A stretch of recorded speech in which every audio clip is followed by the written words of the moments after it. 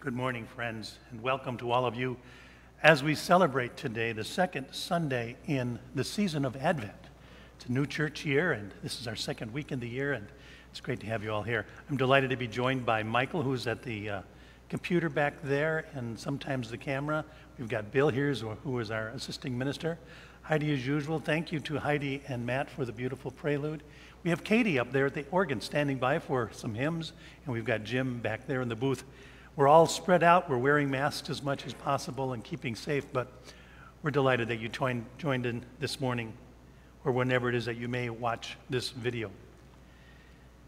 We are going to be celebrating Holy Communion today. It's the first Sunday of the month. So if you, if you haven't prepared for that and you would like to, you might take a few moments just to get your bread and wine set for your communion toward the end of the service. We have something special today. We, we've had a number of people that have decided they wanted to join the congregation even when the congregation isn't meeting. And so I've had some meetings with them online, and uh, Ralph and Diane Lavin have helped out with that. And we decided that we would make today New Members Sunday, and we're going to show actually a brief video that will introduce you to some of the new folks that are joining our congregation. So Welcome to our new members this morning. We begin our service today with our confession and forgiveness. In the name of the Father, and of the Son, and of the Holy Spirit. Amen. Almighty God, to whom all hearts are open, all desires known, and from whom no secrets are hid, cleanse the thoughts of our hearts by the inspiration of your Holy Spirit, that we may perfectly love you and worthily, worthily magnify your holy name through Jesus Christ, Lord. Amen. My friends, let us confess our sin in the presence of God and of one another.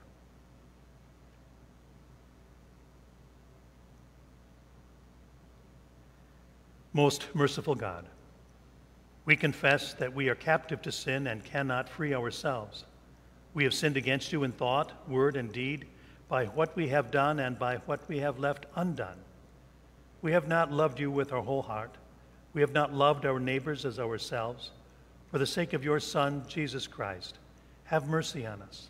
Forgive us, renew us, and lead us, so that we may delight in your will and walk in your ways to the glory of your holy name. Amen.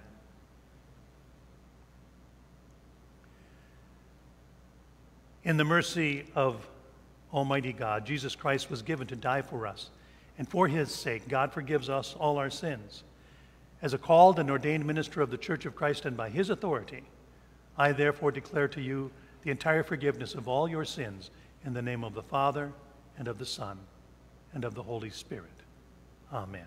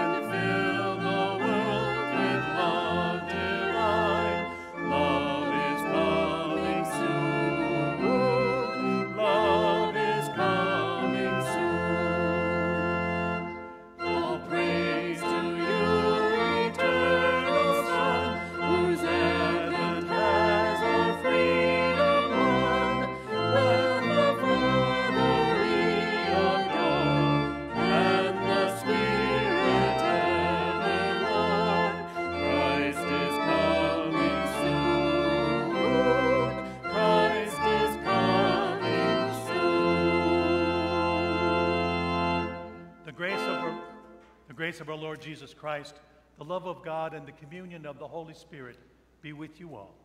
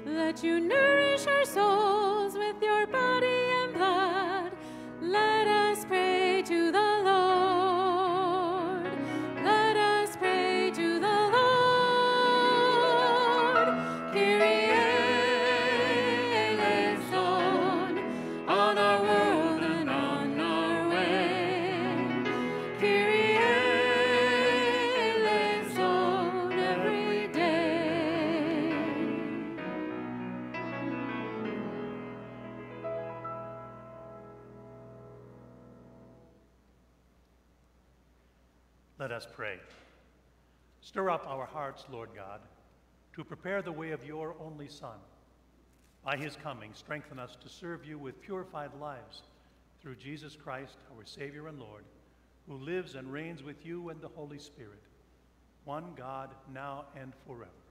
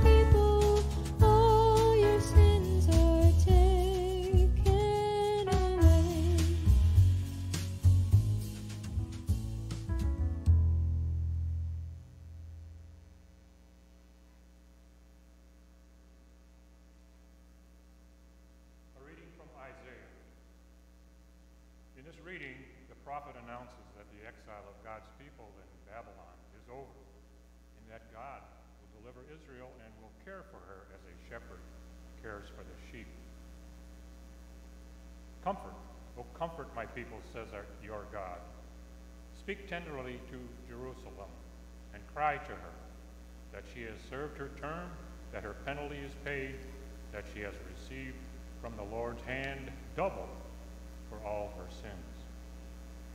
A voice cries out, In the wilderness, prepare the way of the Lord. Make straight in the desert a highway for our God. Every valley shall be lifted up, and every mountain and hill be made low. The uneven ground shall become level, and the rough places a plain. Then the glory of the Lord shall be revealed, and all people shall see it together, for the mouth of the Lord has spoken. A voice says, Cry out. And I said, What shall I cry? All people are grass. Their constancy is like the flower of the field.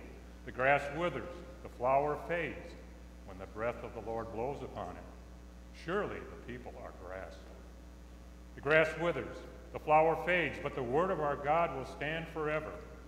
Get you up to a high mountain, O Zion, herald of good tidings. Lift up your voice with strength, O Jerusalem, herald of good tidings. Lift it up. Do not fear. Say to the cities of Judah, Here is your God. See, the Lord God comes with might, and his arm rules for him. His reward is with him, and his recompense before him. He will feed his flock like a shepherd.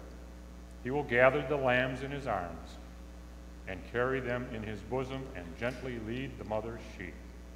The word of the Lord. Thanks, Thanks be to God. A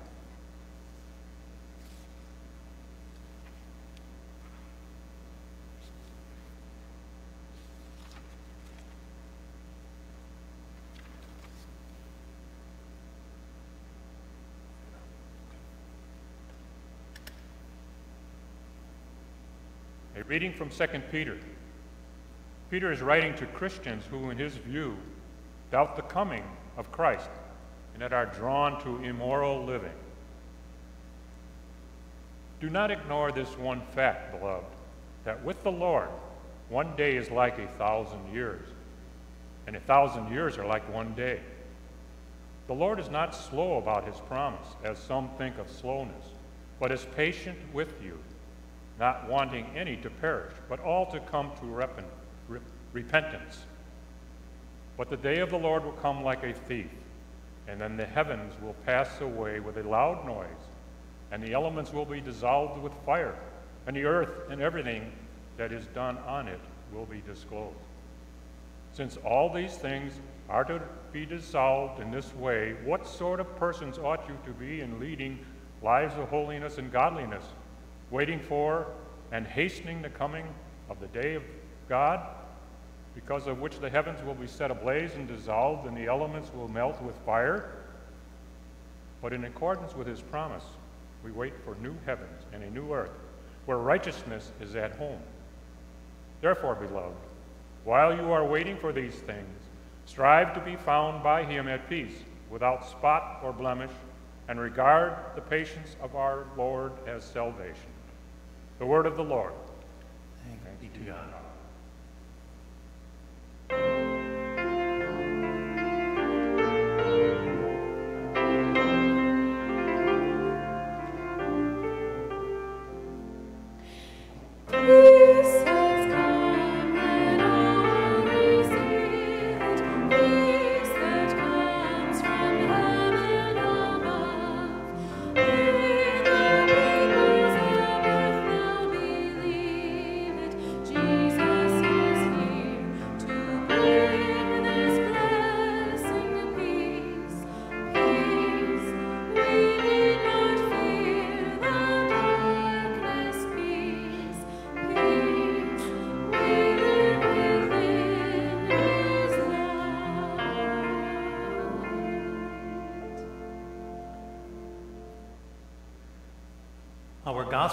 Comes from the very first chapter of the gospel according to St. Mark.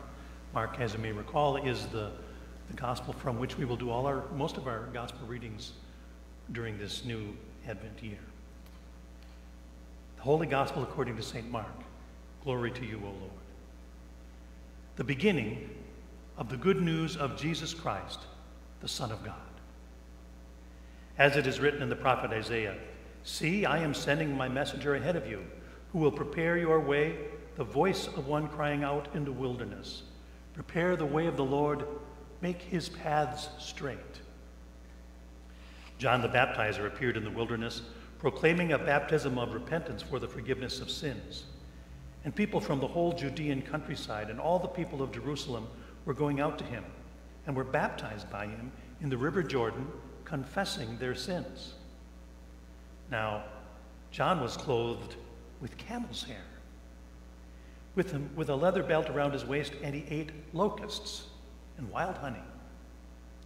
He proclaimed, The one who is more powerful than I is coming after me. I am not worthy to stoop down and untie the thong of his sandals.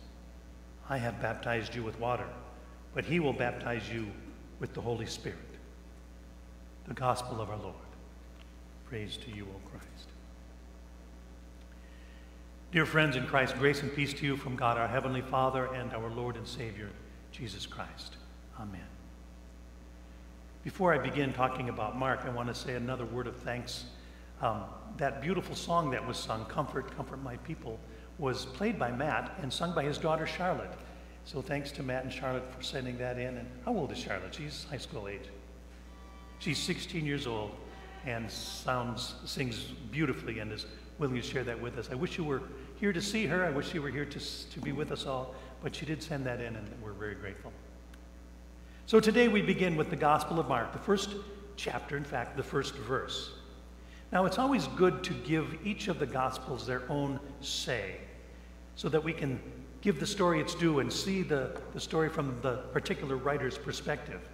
Sometimes in our minds we conflate all of these gospel stories together and we, we sort of assume that they all say exactly the same things in the same way, they all contain the same things, but, but that's not exactly the way it is. Now, Matthew, for example, begins with this long genealogy which is designed to, to help us understand how Jesus is connected to the people of the Old Testament. And Luke begins, where we love him to begin, in the story of Jesus' birth with all of the angels and the shepherds. John, of course, begins in heaven he doesn't begin on earth at all. He says, In the beginning was the Word, and the Word was God, and the Word was with God. But not Mark. Mark begins in a different way. Now, have you ever gotten to a, a, movie theater a little bit late and you, you find your way to your seat in the dark and you sit down and the movie's already started 10 or, 10 or so minutes early, and there you sit in the dark trying to figure out what in the world is going on. Who are these people? What are their characters? Who are the good guys? Who are the bad guys? And where are we in the plot? It's frustrating, isn't it? Well, I mention that because that's exactly where Mark begins his story. Mark starts in the middle of the story. Now, the others give us other kinds of parts of Jesus' life, but Mark starts right here at the baptism of Jesus. We figured that Jesus lived to be 30 to 33 to 34 years old as he walked the face of the earth. And Luke tells us that that Jesus began his ministry at age 30. So that's where we are starting in Mark. Jesus is already 30 years old. There's no birth story, there are no shepherds, there are no angels. Now, if you had not heard the story, and this was the only reference you had to the story, the gospel story of Jesus, you'd be starting in the dark. You'd be sitting there in the dark wondering, who is this guy? Where, where did he come from? How old is he? And and where has he been before this? What was he doing out in the wilderness before he stepped into the river with John? Who are his parents? Why should we pay attention to this person? Nothing but questions. But that's exactly what Mark has in mind for us. You see, Mark wants to be mysterious, and he wants the answers about who Jesus is to slowly unfold as the story unwinds before us. He lays out some details, but not nearly as many as we would like to have.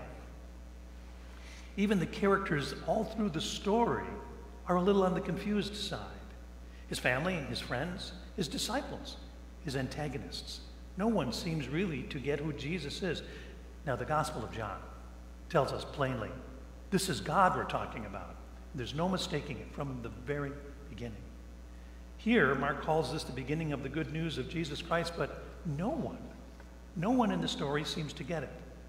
Well, not quite known because there are two very unusual characters, two figures in the whole book that understand who Jesus is. The first one appears a few verses later as Jesus begins his ministry and he goes into a synagogue and finds a man with a demon possession. And the demon spots him. And the demon knows exactly who he, who he is. And in the very first chapter of Mark's story, the demon yells, I know who you are. You are the Son of God. What have you to do with me? And then at the very end, the last chapter of the book, only one other character fully understands who Jesus is. And once again, a very strange choice. Jesus has been crucified by the Roman soldiers. The Roman centurion who stood there watching and seeing to the crucifixion now sees Jesus hanging from the cross in his death. And he is the other one who finally says, Truly, this was the Son of God.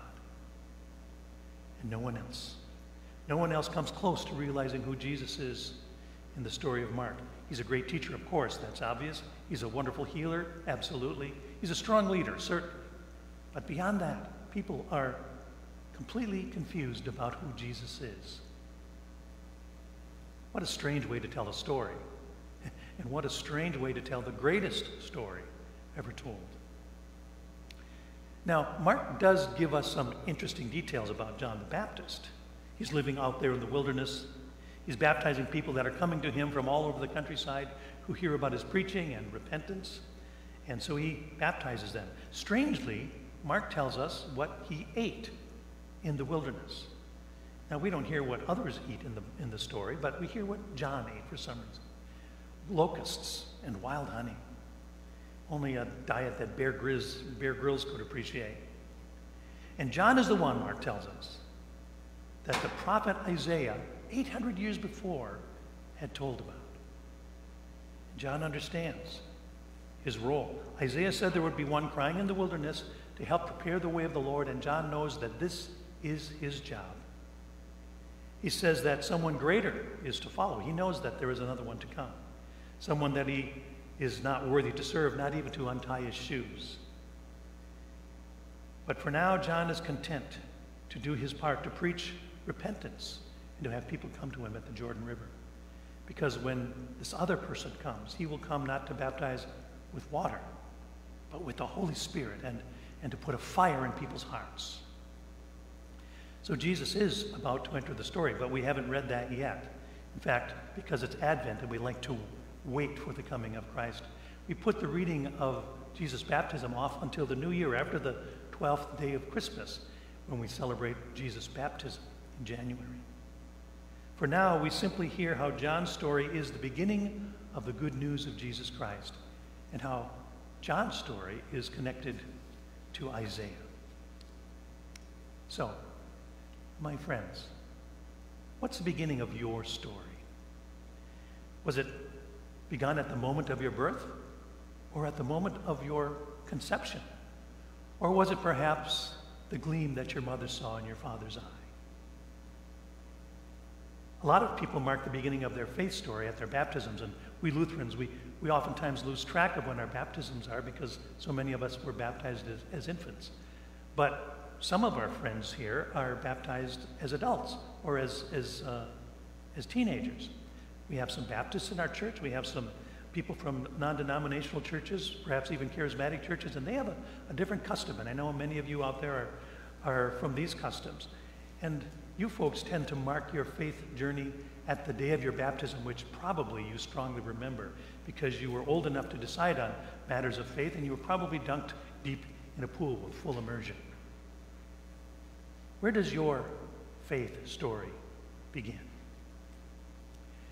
Now, there's something I want to tell you about your pastor, and I, I don't mean just me, I mean all of your pastors, whenever you have them, whoever they are. You see, pastors don't actually baptize anyone. That might sound like a surprise because apparently we do. Well, we do a lot of baptisms, and it's one of our most joyful things to do. And certainly I have done my share of baptisms over the years, too many to count. One, I had one baptism this summer, but because we couldn't gather here with the family in the church, we did it down at Iverson Park at the Plover River. And there I rolled up my pants legs and took off my shoes, as did the parents. we stepped into the waters of the Plover River and we baptized there Eliana Stoflet, a beautiful baby that someday when we're all gathered together, you will get to see. We'll introduce you to her personally. There we were, gathered in the river. Just to get in the right mood that morning, I had gone out and I collected a couple of grasshoppers and used those for breakfast and washed them down with a little wild honey. well, just kidding. But honestly, I really did feel a little bit like John the Baptist, standing there knee deep in the river, baptizing Eliana. But as I said, pastors do not do the baptizing. That's God's job. In fact, when I baptize, you might notice um, the, the liturgy says that the pastor may say, You are baptized in the name of, or I baptize you in the name of Jesus Christ. And I never use that first one because I'm always mindful that I am not doing the, baptiz- the baptizing. God is doing that. So I said to Eliana, You are baptized in the name of the Father, and the Son, and the Holy Spirit. So we pastors, we do like John does, like John did. He pronounced the good news coming. We stand in the river to do our baptism, and to do our part. But mostly we point the way to the Messiah. But it is Jesus who creates new life in baptism. As John says, he comes to us and fills us with fire and changes our hearts.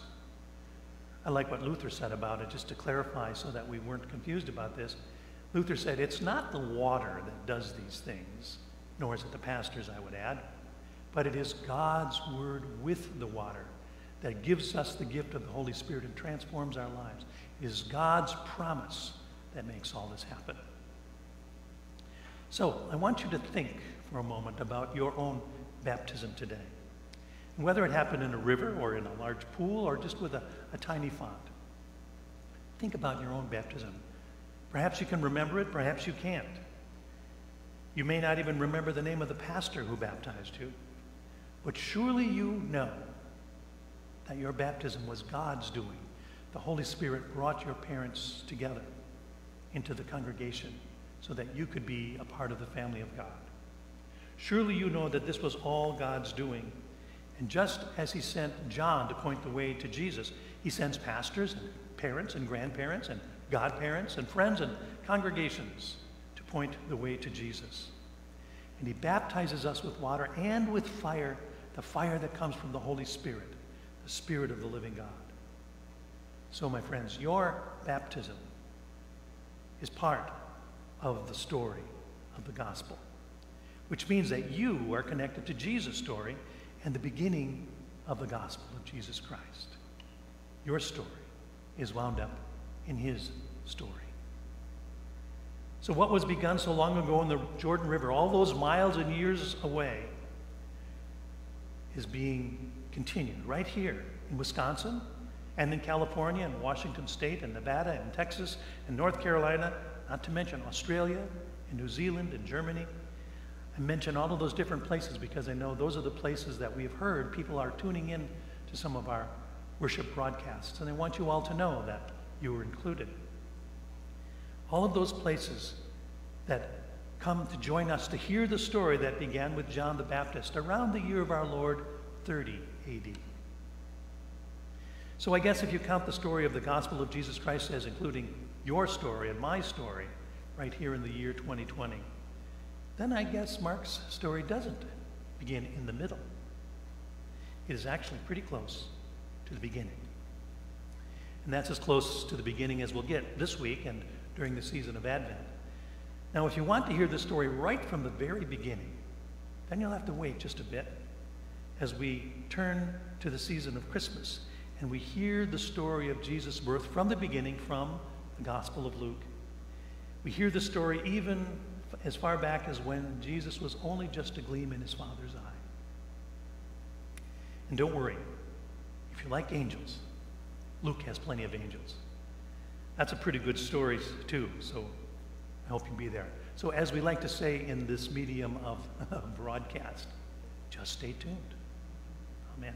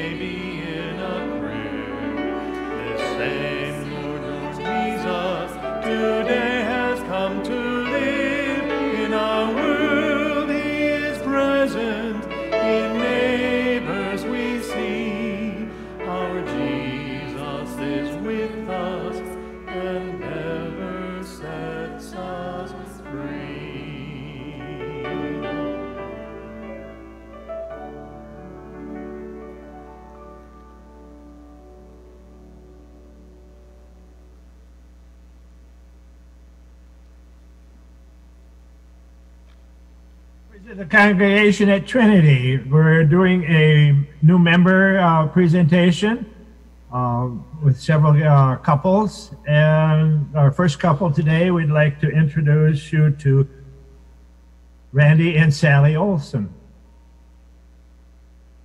Good morning. Uh, I'm Randy, and I've been in Stevens Point since 1985. I came here with the university where I taught for 30 years before my retirement. I taught astronomy and also ran the planetarium and the observatory for those 30 years. I retired in 2015.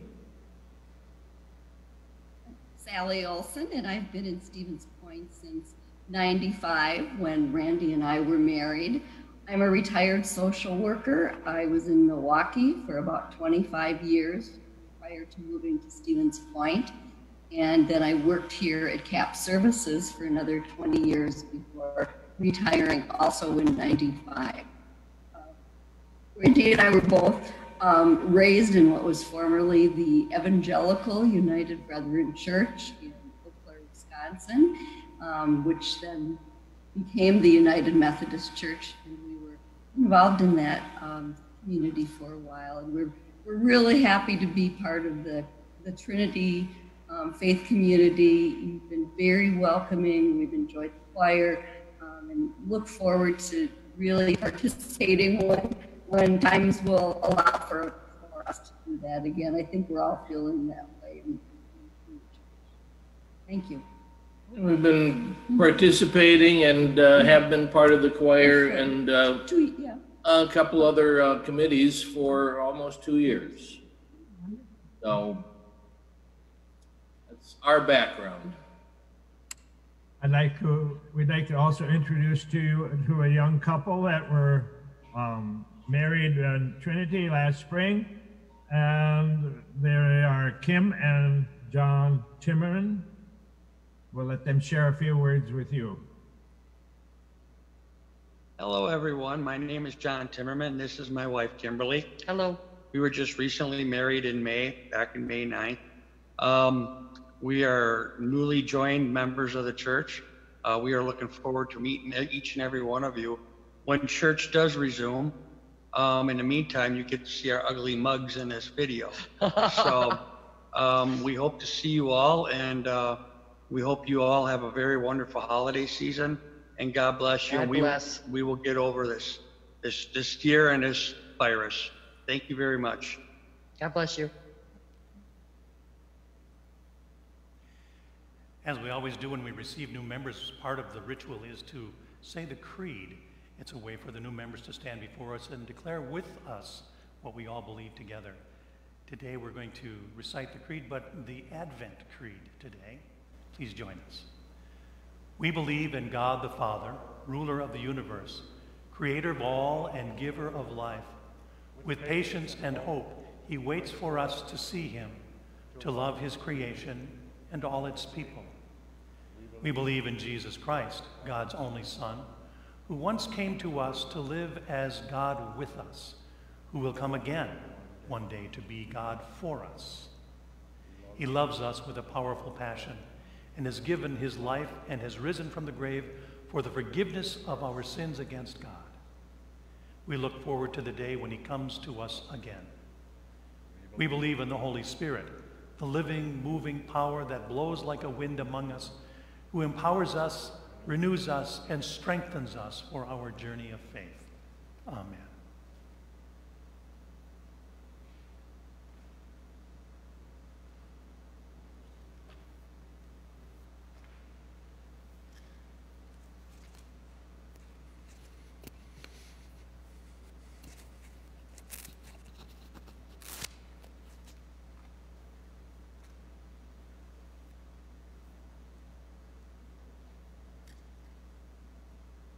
God of power and might, comfort your people and come quickly to this weary world.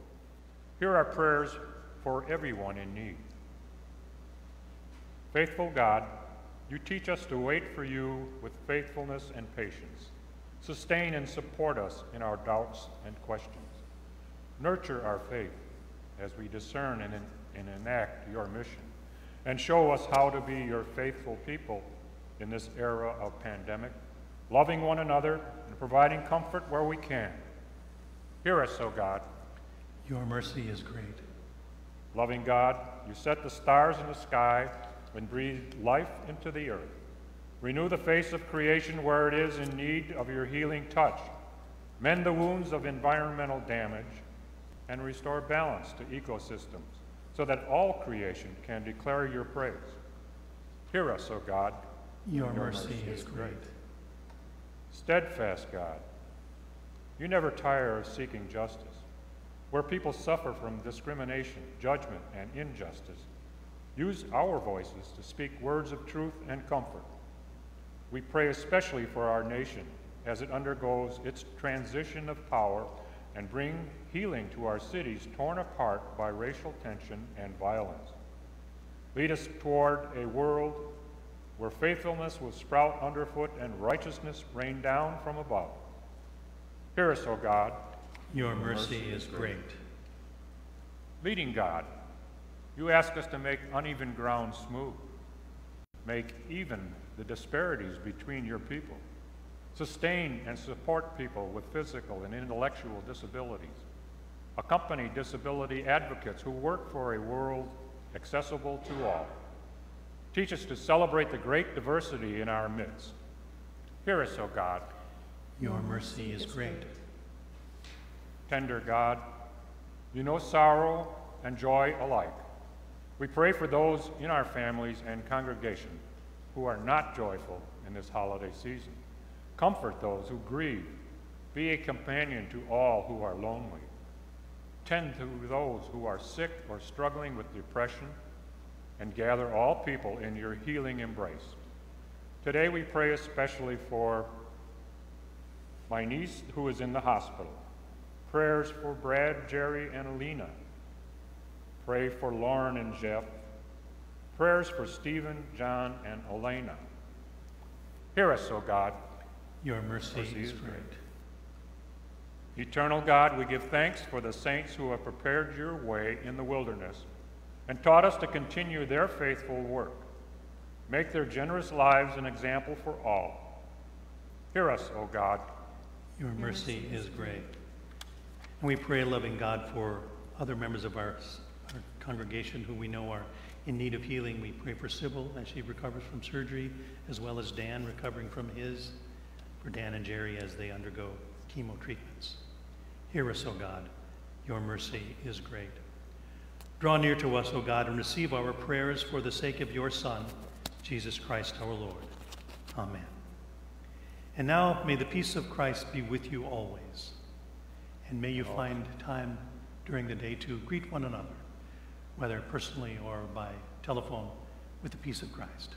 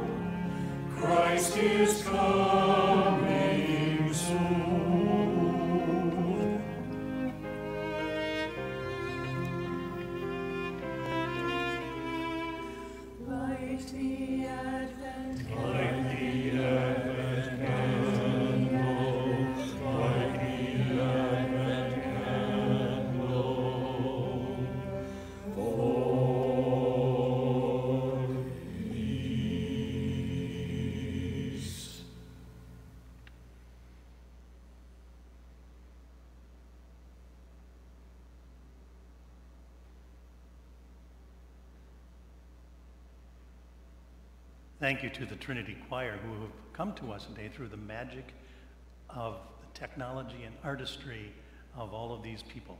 It's great to have you with us again. We turn now to Holy Communion. The Lord be with you. Lift up your hearts. We lift them to the Lord. Let us give thanks to the Lord our God.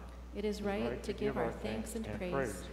It is indeed right, our duty and our joy, that we should at all times and in all places give thanks and praise to you, Almighty and merciful God, through our Savior Jesus Christ, who on this day overcame death and the grave, and by his glorious resurrection opened to us the way of everlasting life. And so, with all the choirs of angels, with the church on earth and the hosts of heaven, we praise your name and join their unending hymn.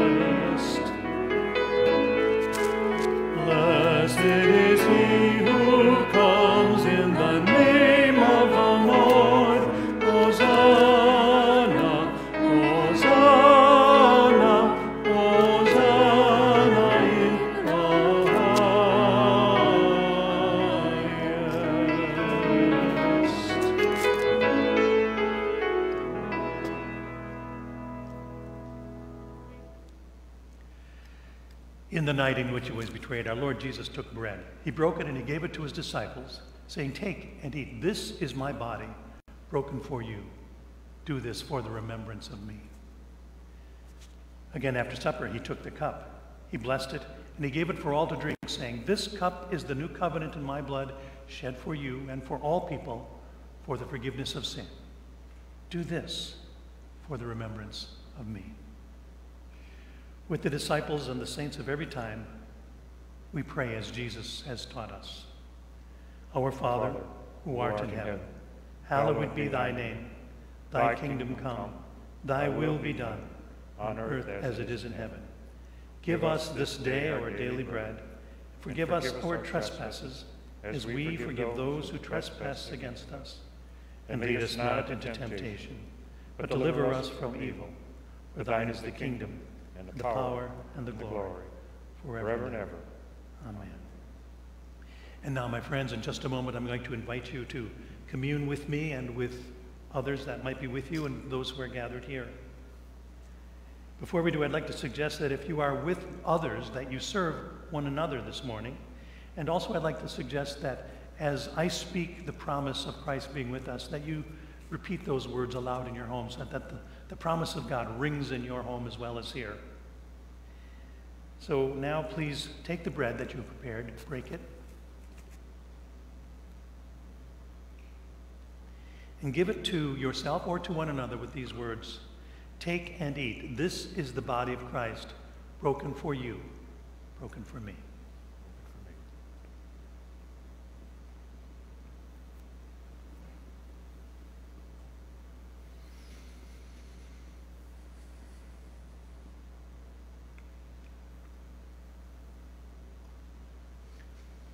And now please take the wine, pour it into your cups, and serve it to one another or to yourself with these words.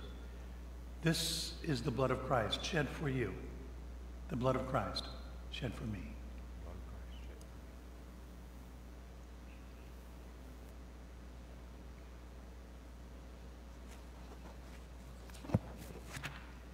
And if you happen to have little ones or others who are not receiving communion this morning gathered with you, please offer them a blessing.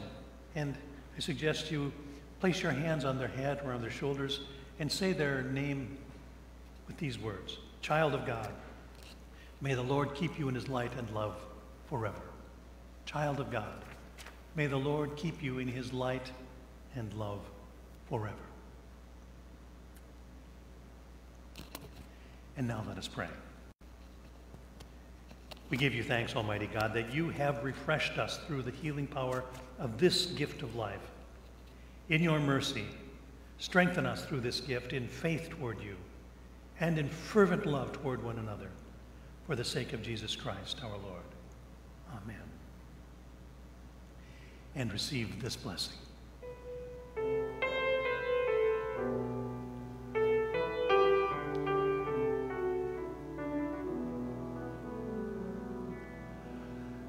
May God the Father bless you on your way. May Christ be with you through each night and day. And through the Spirit may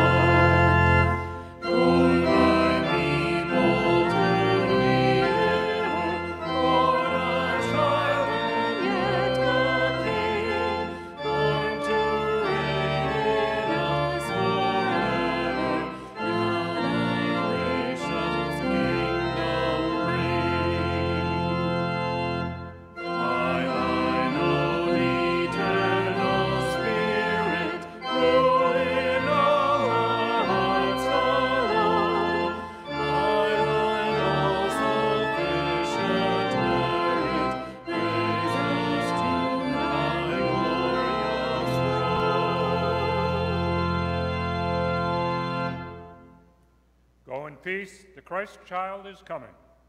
Thanks. Thanks be to God.